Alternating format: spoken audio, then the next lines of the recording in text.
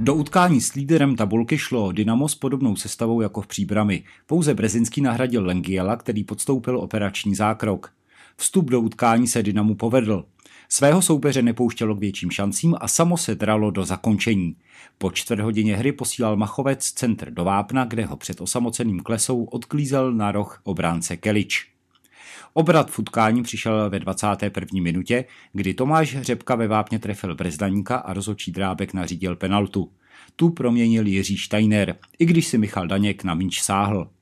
Vedoucí branka vlila Liberci dožil čerstvou krev a domácí se museli bránit. Do konce poločasu se stav ale neměnil, Liberec vedl po 45 minutách 1-0. Ani start druhé půle nebyl ze strany Dynama špatný. Ze série tří rohů nevytěžili ale domácí nic a přišel trest. V 58. minutě Františka Němce vystřídal Brazilec Hudson a pobyl na trávníku sotva pár vteřin, když Slovan udeřil po druhé. Trestní kop ze 30 metrů skvěle trefil Miloš Posančič a Michal Daněk po dlouhém letu musel po druhé vytahovat míč ze sítě.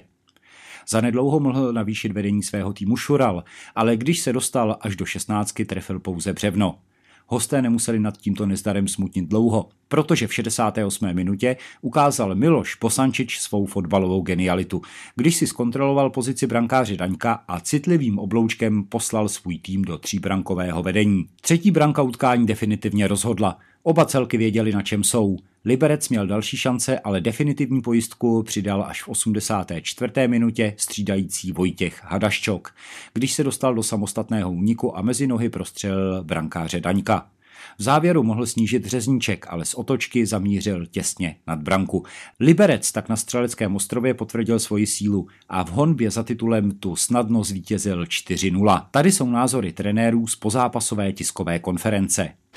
Tak samozřejmě jsem, jsem moc rád, že jsme, že jsme vyhráli, získali jsme tři body a navíc, navíc ještě, ještě takovýmto, takovýmto skórem. Myslím si, že, že velkou roli hrál, hrál v tomhle zápase, nebo hrálo počasí, kdy bylo velký vedro a řekl bych, že, že my jsme se s ním vyrovnali lépe. Nicméně myslím si, že ten zápas potom rozhodla nebo rozhodovala ta druhá branka, kterou jsme střelili Sančičem z trestního kopu. A se prostě nevyvíjel dobře, my jsme byli možná velice aktivní nebo lepší prvních 10 minut, kdy jsme nějakou jako, jako měli aktivitu a měli jsme ty náznaky šancí, nechci říkat šancí, ale pak uh, Liberec ovládl hlavně prostřed hřiště. No.